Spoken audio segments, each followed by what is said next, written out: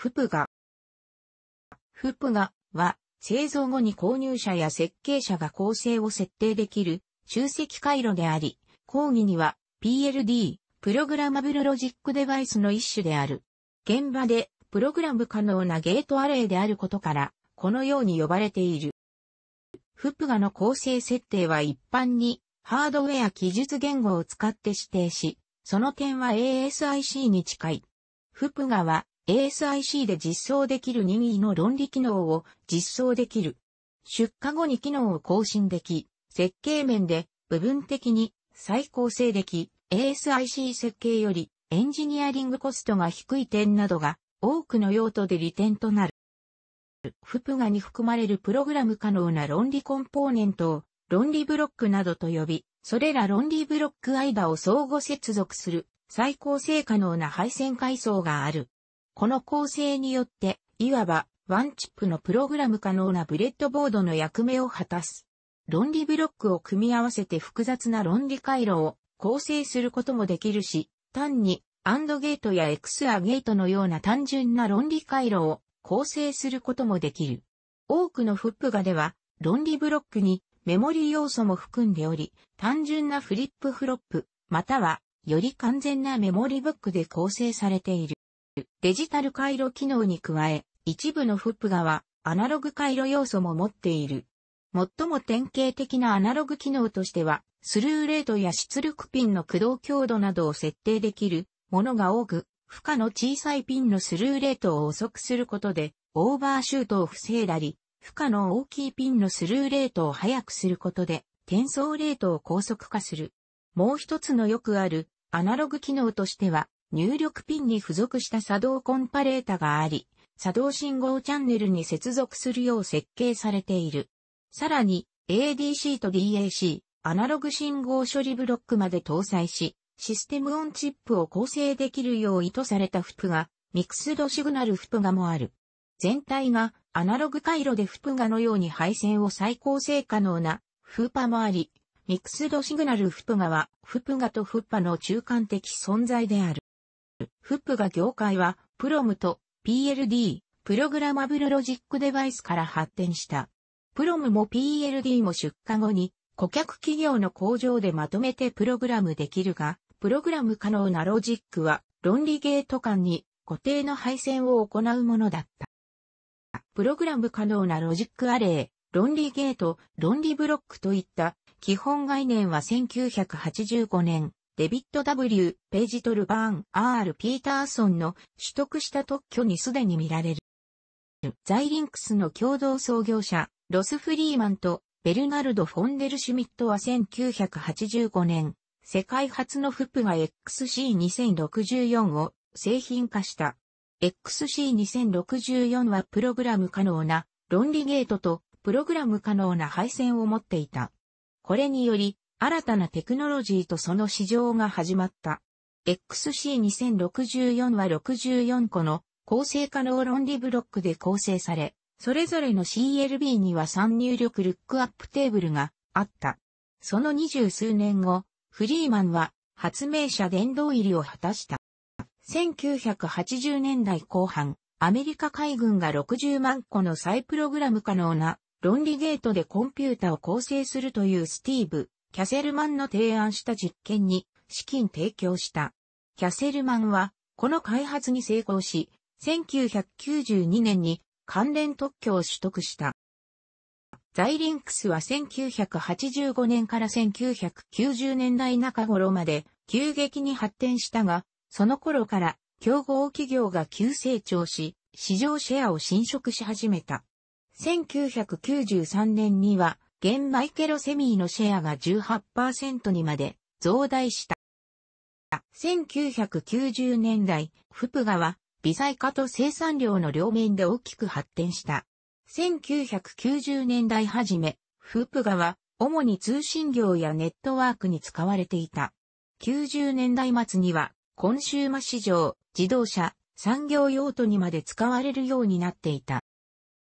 1997年、サセックス大学の研究者、エイドリアン・トンプソンが、遺伝的アルゴリズムとフップガを組み合わせた音声認識装置を開発し、フップガに注目が集まった。トンプソンは、ザイリンクス製の10 10セルの FPGA のアナログ機能を利用して2つの音を識別できる、よう学習するハードウェアを開発したものである。このような遺伝的アルゴリズムを FPGA のようなデバイスの構成に使う方式は、進化型ハードウェアと呼ばれるようになっている。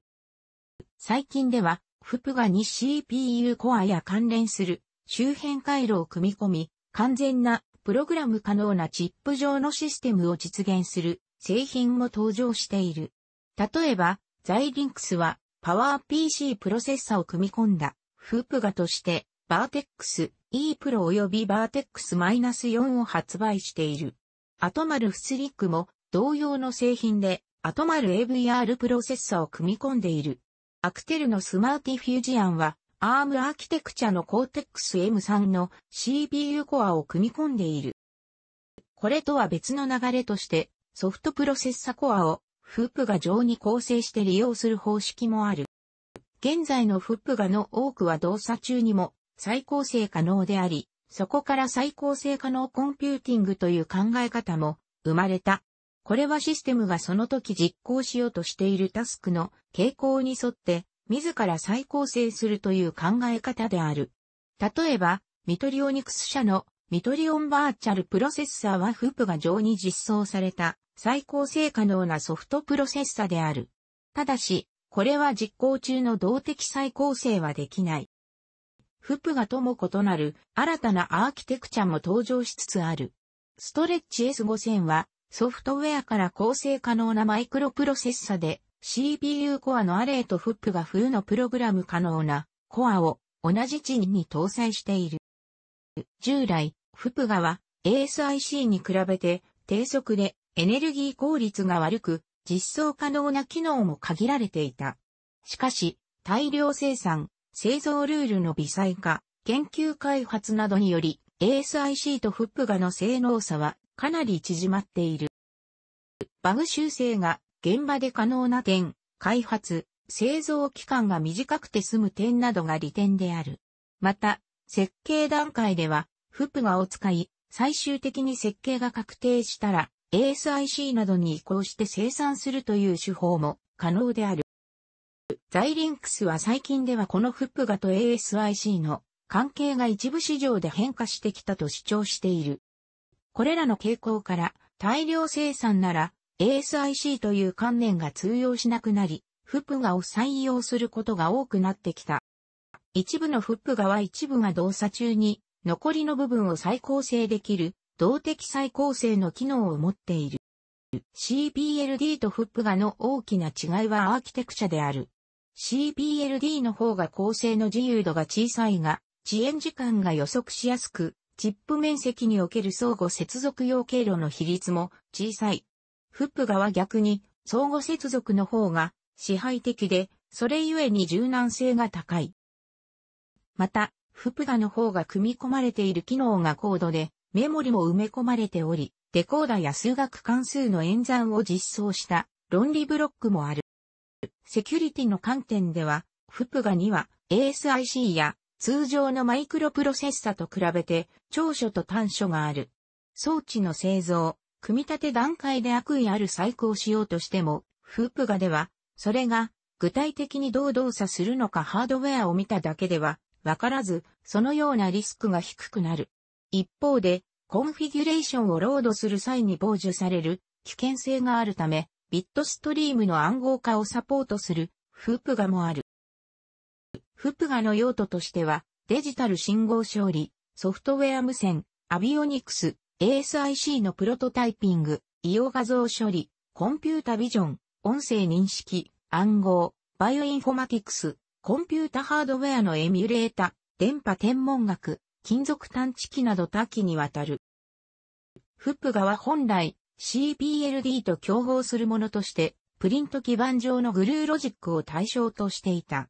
その後、規模や機能や性能が向上するにつれ、扱う機能範囲が拡大していき、システムオンチップとしてマーケティングされるまでになった。特に1990年代後半に、フープガに独立した定山機が組み込まれると、それまで DSP が扱っていた分野にまでフプガが採用されるようになっていった。フプガは特に高い並列性が期待できる分野やアルゴリズムの実装で威力を発揮する。例えば暗号解読がその典型例で、総当たり攻撃の実装には、フープガが適している。暗号化や動画の圧縮、身長、画像処理、ニューラルネットワーク処理などのロジックをチップ内部に持てるようになり、特定の用途の処理を高効率かつ高速化が可能になる。一例として、マイクロプロセッサーとフップガで電力あたりの性能を比較した場合、検索処理では約10倍、複雑な金融モデルの解析では実に約25倍もフプガの方が性能が高いとされる。フプガは高性能計算用途にも採用されつつあり、高速フーリエ変換や畳み込みといった演算をマイクロプロセッサとソフトウェアの代わりにフプガで実装するといった使い方がなされている。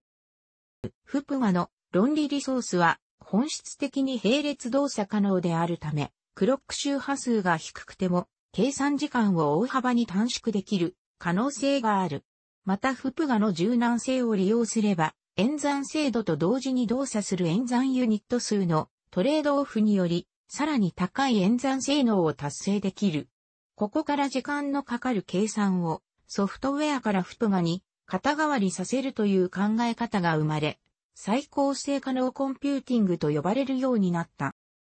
ソフトウェアに比べて、フプガの構成の設計は複雑で時間がかかることから、高性能計算におけるフプガの採用は限定的なものとなっている。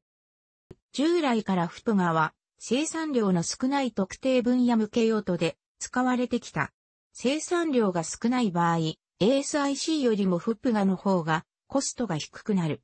近年はこの境目が変化しつつあり、 FPGA の方がコストと性能の面で ASIC よりも優れているという範囲が広がってきている。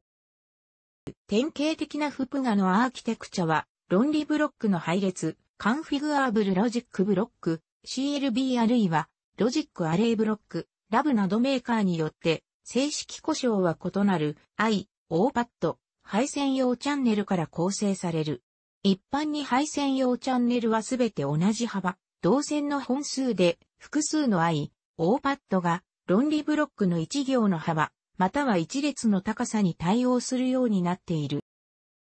アプリケーション回路は適正なリソースを用いて、 FPGA 内に配置される。設計から必要な論理ブロック数や I、O 数は容易に決定できるが、使用する論理ゲート数が同じであっても設計によって配線は大きく異なる。例えば同じ論理ゲート数でも、クロスバースイッチはシストリックアレイよりも多くの配線が必要である。使われない配線が多いと、性能も低下するし、未使用部分が増えてしまうため、フプが製造業者は、論理ブロック数や I、大数にちょうど見合った配線を用意するよう最適化を心がけている。この配分を決定するためにを使ったり、既存の回路設計で実験したりしている。一般に、論理ブロックはいくつかの論理セル、アルム、LE、スライスなどと呼ぶで構成される。典型的な論理セルは数にあるように、4入力ルックアップテーブル、1つの全加算機、D 型フリップフロップなどから構成される。この図では、ラットは2つの3入力、ラットで構成されている。通常モードでは、左のマルチプレクサを通して4入力、ラットを構成している。演算モードでは、ラットの出力が FA に入力される。モード選択は中央のマックスでプログラムされる。出力は同期、非同期を選択でき、図では左端のマックスのプログラムで選択できる。実際にはスペースを節約するため、FA の機能の一部、または全部をラットに組み込むこともある。この図のような論理セルを2つまたは4つでアルムやスライスを構成し、入力を共有させる。論理ブロックは一般にアルム、LE、スライス数個で構成される。最近では高性能フプが26入力、ラットを採用する例がある。クロック信号、及び後半アウト出力信号などは商用、フプガでは通常とは異なる配線でルーティングされ、通常の信号とは別に管理される。上の例での論理ブロックのピン配置の例を次の図に示す。入力が論理ブロックの4つの面に1つずつあるのに対して、出力は右と下の2箇所で配線とつなぐことができる。配線は複数本並んでいて、出力はそれらの任意の線に接続可能である。同じことは I、O パッドにも言える。チップ上端の I、O パッドは上端に隣接する W 本の配線のいずれとも接続可能である。一般に FPGA の配線は分割されていない。すなわち、配線セグメントは論理ブロック一つ分をまたぐ長さで、縦の配線と横の配線が交差するスイッチボックスとスイッチボックスの間を走っている。そして、スイッチボックス内のプログラム可能なスイッチをオンにすることで、さらに配線が続くことになり、そのようにして長い配線を構築する。高速化のために、複数の論理ブロックをまたぐような、長い配線を最初から用意しているフプがアーキテクチャもある。垂直な配線と水平な配線が交差する箇所にスイッチボックスがある。下の図では、水平と垂直にそれぞれ3本の線があり、その交点3箇所に、プログラム可能なスイッチ群がある。交点すべてにスイッチを配すると、コストがかかり、遅延も大きくなるため、このように斜めの交点にだけスイッチを配するのが一般的である。どの交点にスイッチを配するかはいくつか方式がある。一つの交点には6つのプログラム可能なスイッチがある。最近のフップガはこれにさらに高機能な論理ブロックを加えるなどしている。高機能ブロックを埋め込むことで、1からその機能を構成するよりも必要な面積を削減でき、かつ性能が向上する。例えば、乗算機、汎用、DSP ブロック、汎用 CPU コア、高速、I、オーロジック、メモリなどが埋め込まれたフープガがある。フップガの動作を定義するには、ユーザーがハードウェア記述言語、または回路図で設計を提供する。大規模な場合は、回路図よりも HDL 方式の方が適している。しかし、回路図の方が設計の視覚化が容易で、事前に確認しやすい場合もある。HDL で記述した設計を、データツールに入力し、ネットリストを生成する。ネットリストを実際のフプガアーキテクチャに対応させるため、そのフプガのメーカーが提供していると呼ばれるソフトウェアを使用する。ユーザーはその結果をシミュレータにかけるなどしてタイミングに問題がないかなどを検証する。設計と検証が終わったらバイナリファイルを生成し、この工程もフップガメーカー独自ソフトウェアを使う。フップガの再構成に使う。バイナリファイルはシリアル通信経由でフップガに転送するか、EEPROM などの外部メモリデバイスに格納する。最も一般的な HDL としては VHDL とベララグがあるが、これらは通常のプログラミング言語で言えば、抽象度が C 言語を少し下回る程度であり、手間がかかる。そこでもっと高い抽象度でハードウェア設計を行う言語を導入する動きもある。フップガにおける複雑なシステムの設計を単純化するため、検証、最適化済みの既存の機能ブロックや回路をライブラリー化して利用する。このような既存の回路を IP コアと呼び、フプがベンダーやサードパーティの IP 業者から購入できる一般に無償ではない。他にもといった開発者コミュニティなどでフリーなものが入手できる。フプがアプリケーションを開発する場合、設計の各段階でシミュレーションによる検証を行う。まず、VHDL やベララグの RTL 記述でシミュレーションを行う。次に、論理構成によって出力されたネットリスト、ネットリストを変換したゲートレベル記述でもシミュレーションによる検証を行う。そこからさらにフップが向けに配置を決定すると、配線による遅延が加わるため、再度シミュレーションによる検証が必要になる。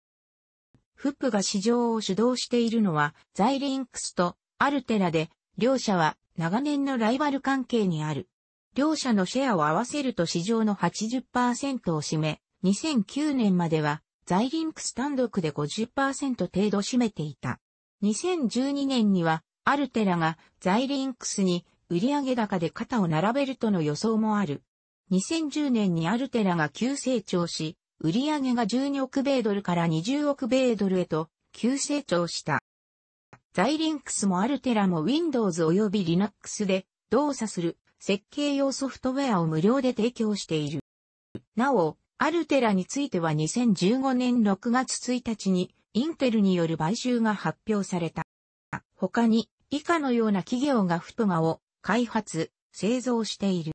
楽しくご覧になりましたら、購読と良いです。クリックしてください。